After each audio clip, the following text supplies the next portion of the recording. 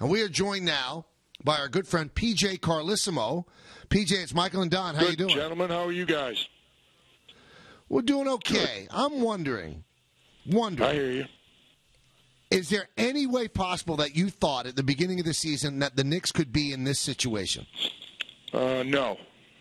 No, I just. So what has gone wrong? Uh, just about everything. I mean, I, I just think it. Uh, I, I don't.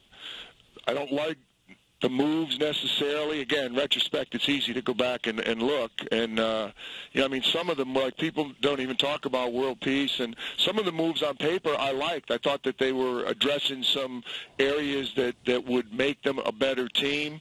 Um, it just got off to a bad start from the beginning between injuries, between JR not playing the first five games. And I, I just think everything was disrupted from the beginning. And then it was Murphy's Law. Tyson's out for a while. Raymond was out for a while. They were never able to establish a flow. Um, you know, Andrea comes in and and to give him his due, in a sense, he was playing well you know, d- doing some things and trying to do some things differently. But it's just what what went well, other than you know, Melo has has been fairly consistent the entire year. Everybody else has either been injured, been in and out of the lineup. Um, you know, we did we talked way back at Christmas when I did a did a game, the Oak City game on on Christmas Day, and there were more guys in street clothes on the bench than there were in uniform. So I mean, I think it's been a series of things. I, I kept thinking, okay, when Tyson gets back, when Raymond gets back, when Pablo gets back, when you know Metta gets back, things are gonna you know they'll get a chance to keep the team together for two weeks at a time. Mike will have the same lineup and things will fall in place. Well, it's never happened. It's it, it never happened primarily because I don't think they've had you know the bulk of the team together for a significant period of time, be it practice time or be it playing time. But I still, you know, yes, I thought they'd be better. I mean, it's a talented team. I think I don't think Mike's a good coach. I think he's an excellent coach.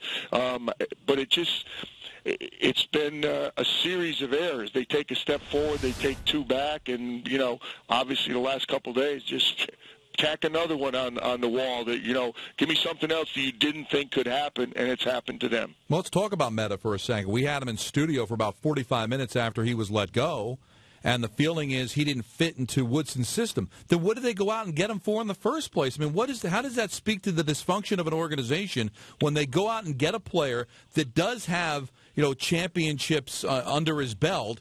And try to force feed him down uh, the throat of a coach that didn't seem like he wanted him in the first place. Well, I'm not privy to that, and I'm not uh, avoiding the question. I would have thought he's a Mike type player from the outside. I mean, here's a guy who's a defensive guy. Now, again, offensively, he's always been a little a little bit tough because he he, he sometimes he has a tendency to get bullheaded and shoot the ball when maybe you don't want him to do. You know, he's got, maybe got more offensive confidence than is appropriate. But I mean, he's a he's a defender. He's a physical defender, and and he, can get you some boards. Like from you know, given some weaknesses of the Knicks in the past, it wouldn't surprise me if you told me Woody liked him and wanted him. Now, if if it's accurate that it was the opposite, well then that's a problem. You know, any any time coaches and management coaches and management are not going to agree on everything, but if if a coach feels strongly about a guy um, you're you're barking up a, a tree of trouble when you bring a guy in and say, "I don't care how you feel, we think he fits in." Well, that ain't going to happen. So, I, again, I, I don't know what what the conversations were, what went down. Andrea comes in. I mean, you look at, at some of the additions. Some of the additions, I would have liked the Metta addition more than the Andre. And that, I, I had Andre as an assistant coach in Toronto. I think he's a very gifted and skilled player, but primarily an offensive player, a three-point shooter, um, somebody who can put the ball on the floor a little bit. He's not a rebounder, uh, particularly uh, on the offensive glass because of where he plays, and, and he's not a, he's not a great defender. So um, Beno Udrih, I thought was a good addition. So I mean, you're talking to the right, the guys I thought were good additions for, to the team haven't worked out. So. Um, why they did these moves, um, whose ideas they were, that, that I don't know.